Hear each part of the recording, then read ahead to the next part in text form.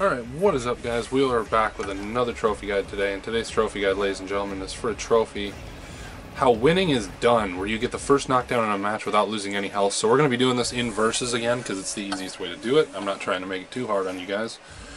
And basically what we're going to do is we are just going to beat the shit out of the other controller and just let them lose. So that's what we're going to do right here. So we'll just start pounding them.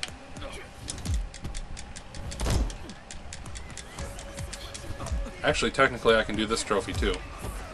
So now, one, two, and I had a third one before that.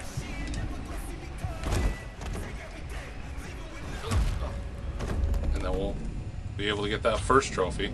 But this one's also for, so we just got what I said, how winning is done.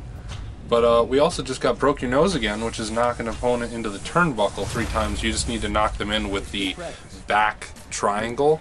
Sorry, the left triangle. Hold um, left on the D-pad and press triangle, and you'll get them into the corner and knock them into that. And that'll be how you get the broke your nose again. And just break. Oh, I'm sorry. Get the first knockdown in a match without losing any health is how winning is done.